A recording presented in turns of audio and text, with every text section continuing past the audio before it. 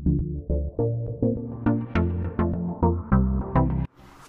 Good morning friends कैसे आप सब? मैं हूँ मनीषा। तो आज मैं आप लोगों के साथ शेयर करूँगी अपना जो बंजारा मार्केट से मैंने शॉपिंग की है, वो जो मैं अपने बेडरूम मेकओवर और लिविंग मेक रूम मेकओवर में यूज़ करने वाली हूँ, क्योंकि काफ़ी सारा सामान था जो मुझे चाहिए था तो मैंने बंजारा मार्केट से शॉपिंग की है, मैंने लास्ट व्लॉग में आप लोग साथ शेयर किया था तो वो शॉपिंग मैं आप लोग साथ शेयर करने वाली हूँ, लेकिन उससे पहले मेरे पास कमेंट्स आ रहे थे कि आप घर पे बिस्किट बना सकते हो, आटे के बहुत इजी होते हैं और बाहर के बिस्किट ना खिलाएँ बच्चों को तो ऐसा कुछ मुझे लगता नहीं है, क्योंकि जब परी छोटी थी तो मैंने उसको बेकरी वाले ही बिस्किट खिलाए थे आटे के बट फिर मैंने सोचा कि चलो ट्राई करती हूँ, क्योंकि मैं भी डाइटिंग पे हूँ। नहीं हूँ अभी मतलब कर रही हूँ, नहीं कर रही हूँ तो मैं सोचा चलो फिर जब घर पे बना ही सकते हैं इतने इजीली तो बाहर मार्केट से क्यों लेना? तो मैंने ट्राई किए हैं आटे के बिस्किट तो पहले उसकी रेसिपी मैं शेयर कर लेती हूँ कि मैंने किस तरह से किए हैं और कैसे वो बने हैं। उसके बाद मैं शेयर करूँगी अपनी शॉपिंग हॉल तो चलिए देख लेते हैं कि कैसे बने हैं मेरे आटे के बिस्किट तो फ्रेंड्स, आटा बिस्किट बनाने के लिए मैंने यहाँ पे ली है हाफ़ कटोरी घी। देसी घी लिया है, घर पे बना रहे हैं तो घी में ही बनाइए। मैं तो यही बोलूँगी, या फिर बटर का यूज़ कीजिए। उसके साथ ही मैंने हाफ़ कटोरी ही ली है शुगर शुगर नहीं है, ये जो खांड होती है ना, वो ली है मैंने। चीनी का यूज़ नहीं किया है। अगेन वही घर पे बना रहे तो थोड़ा सा उसको हेल्दी बना लेते हैं। तो मैंने चीनी नहीं ली है, खांड लिया है, और इसको कर देंगे मिक्स तो ये जैसे चीनी मिक्स हो जाती है ना, वैसे मिक्स नहीं होगा, ये कुछ इस तरह से ही रहेगा। और इसको मिक्स करने के लिए मैं यहाँ पे हाफ़ कटोरी पानी डाल रही हूँ उसके अंदर ताकि जो मेरा आटा है वो भी अच्छे से गुन जाए और ये थोड़ा सा मेल्ट भी हो जाए। तो ये बिल्कुल अच्छे से इस तरह से इसका जो पेस्ट है वो बन जाएगा।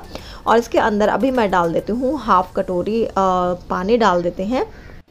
और इसको कर लेंगे मिक्स और इसके बाद इसके अंदर हम डालेंगे आटा। तो इसका जो मेज़रमेंट है वो ये है कि आपको हाफ़ कटोरी आटा मीठा लेना है शुगर लेनी है और हाफ़ कटोरी घी और आपको लेना है ढाई कटोरी टू एंड हाफ़ कटोरी आपको लेना है सॉरी टू कटोरी लेना है आपको आ, आटा।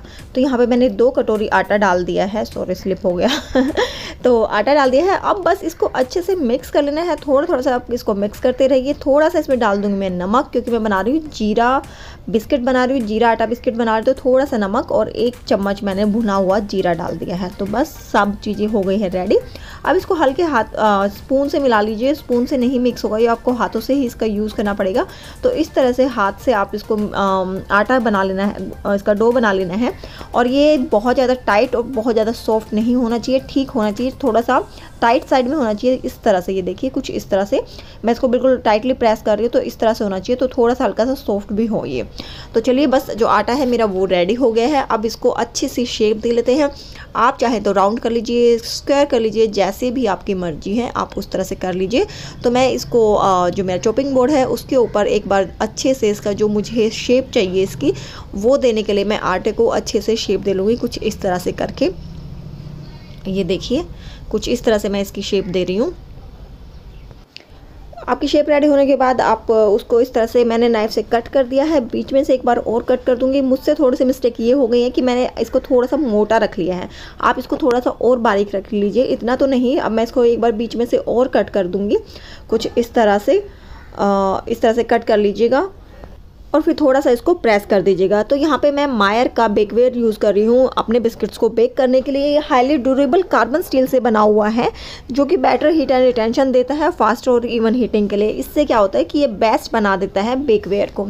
इस बेकवेयर को और इसके इसके जो हनी कोम है जो आप देख रहे हैं पैटर्न कर रहा है, ये एक बहुत ही अच्छी सी ब्राउनिंग देगा और इसको आपको ग्रीस करने की भी ज़रूरत नहीं है। साथ में जो आपको पता है, मायर के जो प्रोडक्ट्स होते हैं, वो टॉक्सिन निकल एंड कैडमियम फ्री होते हैं। और ये हंड्रेड परसेंट सेफ़ होते हैं आपकी हेल्थ के लिए। साथ में U S F D approved है तो बिल्कुल हंड्रेड परसेंट सेफ़ है। तो देखिए, मैंने अपने बिस्किट्स को कुछ इस तरह से हाथ से प्रेस करते हुए इनको मैं अपने बेकवेयर के अंदर रख लूँगी और इनको रखते हुए आपको थोड़ा सा गैप देना है। ताकि जब ये बेक होंगे तो इनको थोड़ा सा स्पेस मिले, थोड़ा सा फूलेंगे तो उसके लिए थोड़ा सा इनके अंदर गैप रखिएगा। ग्रीस करने की ज़रूरत नहीं है आपको इस बेकवेयर को। और आप इसको सीधा फ्रीजर से अवन में भी यूज़ कर सकते हैं। और इसका ध्यान रखिए, ये जो बेकवेयर है, वो माइक्रोवेव में सिर्फ़ कन्वेंशन मोड में यूज़ होता है। तो मेरे पास अवन नहीं है माइक्रोवेव है, मैं उसी के अंदर इसको यूज़ कर रही हूँ कन्वेंशन मोड में। वो किस तरह से करती हूँ, वो मैं अब आपको दिखाऊँगी। आप लोगों के कमेंट आ रहे थे कि मैं जो माइक्रोवेव है उसका यूज़ करना दिखाऊँ। तो जैसे मैं यूज़ करूँगी, वैसे ही वीडियो मैं आप लोगों के साथ शेयर करती रहूँगी। करूँगी। तो आज बिस्किट बना रही थी तो मैंने सोचा चलिए शेयर कर लेती हूँ। तो देखिए, ये मेरे बेकवेयर के अंदर सारे बिस्किट्स जो रेडी हो गए हैं। अब इसको अपना रख देते हैं अवन के अंदर। तो चलिए अवन के अंदर देखते हैं कि कैसे करना है और बिस्किट को बेक करने के लिए हमें पहले उसको प्री हीट करना पड़ेगा। तो जस्ट मैंने क्या किया है, मैंने ऑन कर दिया है अपने माइक्रोवेव को। कन्वेंशन मोड को मैं अभी प्रेस कर दूँगी। स्विच ऑन करने के बाद जो आपका स्टार्ट वाला बटन है स्टोव वाला बटन उसको प्रेस करके फिर कन्वेंशन मोड को आप प्रेस करते जाइए जब तक कि 180 डिग्री आपका ना आ जाए। तो देखिए यहाँ पे 180 डिग्री आ गया है। अब मैं इसको स्टार्ट कर दूँगी। तो ये हो गया है मेरा अवन स्टार्ट तो आप जो ब्लिंक देख रहे हैं ना, इसका मतलब है कि ये प्री स्टार्ट प्री हीट हो रहा है। तो जब ये प्री हीट हो जाएगा तो ये जो ब्लिंक करना है, वो बंद हो जाएगा कुछ इस तरह से। तो जो मेरा अवन है, अभी वो रेडी है यूज़ करने के लिए। तो चलिए अवन को ओपन करते हैं। सॉरी माइक्रोवेव को क्योंकि माइक्रोवेव ओवन है ये मेरा ग्रिलर तीनों चीज़ों का काम करता है तो इसलिए मैं इसको ऐसे ही बोलती हूँ। तो ये मैंने इसको रख दिया है, इसके अंदर अब हम क्या करेंगे, अब हम इसको दोबारा से स्टार्ट करेंगे। तो दोबारा से स्टार्ट करने के लिए मैंने कन्वेंशन मोड को ऑन किया। उसके बाद मैंने यहाँ पे टाइम सेट कर दिया है तो मैंने यहाँ पे 20 मिनट्स किया है, अब मैं इसको कर दूँगी स्टार्ट तो हर एक जो माइक्रोवेव अवन होता है, उसका टाइम अलग अलग होता है तो मैंने यहाँ पे 20 मिनट्स डाला है और उसके बाद देखिए 20 नहीं, फिर से मैंने इसमें 10 मिनट्स और डाला था तो 30 मिनट्स में जो मेरे बिस्किट है, वो कुछ इस तरह से देखिए परफेक्ट ब्राउनिंग के साथ जो मेरे बिस्किट है, वो बन के रेडी हो गए हैं. तो मैं यहाँ पर बस एक टिप आपको ये दूँगी कि आप इसको थोड़ा सा पतला रखिएगा बिस्किट बहुत ही यम्मी एंड टेस्टी बने हैं नो डाउट बहुत अच्छे बने हैं। और थैंक यू सो मच मुझे ये सजेशन देने के लिए कि मैं बिस्किट घर पे बना सकती हूँ, मुझे बहुत अच्छा लगा बिस्किट बना करके भी। और लगा कि हाँ यार, कुछ खा रहे हैं तो अपने सामने बना हुआ खा रहे हैं, अपना घी है, घर का घी था शक्कर थी आ, मतलब खांड थी चीनी नहीं थी तो कुछ हेल्दी टाइप में बिस्किट हो गए हैं तो thank you so much suggestion देने के लिए। और प्रोडक्ट का लिंक मायर का जो बेकवेयर है इसका जो लिंक है वो मैंने नीचे डिस्क्रिप्शन बॉक्स में दे दिया है आप प्लीज़ चेकआउट कर लीजिएगा। और अगर आप मेरा यूज़ करते हो कूपन कोड मनीषा फिफ्टीन तो आपको पंद्रह परसेंट डिस्काउंट मिल जाएगा इसके ऊपर। तो चलिए टेन ईयर्स की वारंटी भी है तो एक बार चेकआउट कर लीजिएगा और बिस्किट बिल्कुल परफेक्ट बने हैं ये देखिए। मस्त वाले बिस्किट बने हैं तो thank you so much for your suggestion और यस कमेंट करके बताएगा कि आपको कैसे लगी ये रेसिपी आपको जो मेरे बिस्किट है वो पसंद आए होंगे। अगर आपने भी अभी तक ट्राई नहीं किया है तो आप ज़रूर ट्राई करके देख सकते हैं। मुझे काफ़ी अच्छे लगे और इन फ्यूचर बनाते रहेंगे ये सब। तो बाकी जो भी चीज़ें मैं यूज़ की है मैंने वो का जो लिंक है वो मैंने नीचे डिस्क्रिप्शन बॉक्स में दे दिया है। आप जाके चेकआउट कर सकते हैं। तो चलिए फटाफट से मैं शेयर कर लेती हूँ कि मैंने बंजारा मार्केट से क्या क्या शॉपिंग की है। तो फ्रेंड्स सबसे पहले तो मैंने लिए थे ये दो छोटे छोटे, ऐसे बहुत क्यूट से ये हुक है। और ये हुक नहीं, इनको क्या बोलते हैं? मतलब ये उसके अंदर जाते हैं ना? नाम भूल गए मैं, क्या बोलते हैं? ये किसी भी चीज़ के आप में लगा सकते हो, अपने ड्रोवर ड्रोवर वगैरह में लगा सकते हो। तो ये मैंने दो ये लिए थे और दो और लिए हैं, वो भी मैं आप लोगों को दिखाऊँगी। तो ये लिए हैं मैंने फिफ्टी रुपीज़ ईच से। तो काफ़ी अच्छे अच्छे डिज़ाइन थे, वहाँ पे हम लेट हो गए थे। तो जैसा मुझे मिला, जो डिज़ाइन था, मैंने वही पिक कर लिया और ये मुझे काफ़ी अच्छा लगे। और दूसरा भी मैं दिखाऊँगी कि मैंने उसको कहाँ पर यूज़ किया है। और उसके बाद एक ये छोटी सी बास्केट मैंने ली है और ये थी ये मैंने पेयर में थे हाँ। हंड्रेड रुपीज़ की ही पड़ी है मुझे और ये देखिए, इस तरह से है। नहीं वन फिफ्टी रुपीज़ की। तो ये वन फिफ्टी में उन्होंने मुझे दी है। तो काफ़ी अच्छे लगे थे, वो कम कर ही नहीं रहे थे तो मैंने वन फिफ्टी में ही मैं चलो ठीक है। बोल कोर्स तो वो काफ़ी ज़्यादा करते हैं तो आप इसको बाद में भी रीयूज़ कर सकते हो, कोई भी अपना कलर का जो आपको पसंद हो कलर वो इसमें डाल सकते हो। तो आप इसको एज ए मेकअप ब्रश वगैरह रखने के लिए यूज़ कर सकते हो, या फिर किचन में रख सकते हो, या फ्लावर पोट की तरह यूज़ कर सकते हो। टेबल पे यूज़ कर सकते हो, जैसे चाहे आप उसको वैसे यूज़ कर सकते हैं। तो ये हो गई है मेरी एक और उसके बाद इसी के साथ मैंने वहाँ से एक ये ट्रे ली थी, ये कुछ इस तरह से है। और, इन दोनों का मैंने 300 दिया था। 300 या 200 मैंने इन दोनों का दिया था। तो इस तरह से यह ट्रे, मैं इसको टेबल पे डेकोरेट करने के लिए लेके आई थी कुछ सामान, या फिर एज ए शेल्फ भी आप इसको यूज़ कर सकते हो। इसमें छोटी छोटी चीज़ें रख सकते हो शेल्फ बना करके और इसके अंदर कुछ डेकोरेटिव चीज़ें आप पर रख सकते हो। तो कैसे भी यूज़ कर लीजिए। मैं देखती हूँ उसको कैसे यूज़ करूँगी वो मैं शेयर करूँगी आप लोगों के साथ। और उसके बाद ये वाला लैम्प ये विनोद को काफ़ी पसंद आया था ये देखिए। बहुत ही अच्छा सा ये लैम्प है। इस तरह से सिल्वर में है ये और इस तरह के काफ़ी अच्छे अच्छे यूनिक सी चीज़ें आई हुई थी। ये आ, मैं इसको खैर थ्री हंड्रेड में लेती बट विनोद ने फिर इसको फोर हंड्रेड बोल दिया तो उन्होंने बोला ठीक है फोर हंड्रेड उन्होंने पंद्रह सौ कुछ का इसको बोला था और फिर उन्होंने फोर हंड्रेड में दे दिया। वो थ्री हंड्रेड में भी इसको दे देती आ, कोई प्रॉब्लम नहीं होती लेकिन फिर उन्होंने फोर हंड्रेड बोला तो चलो ठीक है फोर हंड्रेड में। और ये यहाँ पीछे से ओपन होकर के और आप इसको एज ए कैंडल होल्डर भी यूज़ कर सकते हो इसके अंदर दिया हुआ कैंडल रखने के लिए या फिर आप इसको एज इट इज़ भी यूज़ कर सकते हैं। तो मैं अपने डेकोरेशन में ज़रूर इसको यूज़ करने वाली हूँ और आप लोगों के साथ शेयर करूँगी। सबसे पहले जो आइटम थी हमने वो ली थी ये साइकिल ये बड़ी अच्छी सी साइकिल है। और ये ली थी हमने टू हंड्रेड रुपीज़ की। तो वैसे भी तो काफ़ी डिज़ाइन थे मोटर बाइक वगैरह थी, सारी चीज़ें थी बट मुझे जो साइकिल है वो ज़्यादा पसंद आई। और एक वो वाली साइकिल भी थी जो आगे जिसमें फ्लावर वगैरह रखते हैं तो वो कॉमन है। तो लेकिन ये साइकिल बहुत कम मिलती है तो मैंने ये बिल्कुल जो साइकिल टाइप में ही है, ये वाले ली हमने टू हंड्रेड रुपीज़ की। सबसे पहली परचेज हमारी यही थी। उसके बाद एक ये कैंडल होल्डर है, ये विनोद को काफ़ी अच्छा लगा था तो ये विनोद ने लिया है हंड्रेड रुपीज़ में। तो इसका उसने हंड्रेड बोला था तो हमने उसको हंड्रेड ही दे दिया। मैं क्या करवाना कम इसका? तो ये देखिए, काफ़ी अच्छा प्रिंट है इस पे। और फिनिशिंग भी है, कोई ऐसा कुछ नहीं था इसमें। तो ये लिया था हंड्रेड रुपीज़ का, ये भी काफ़ी अच्छा लग रहा था।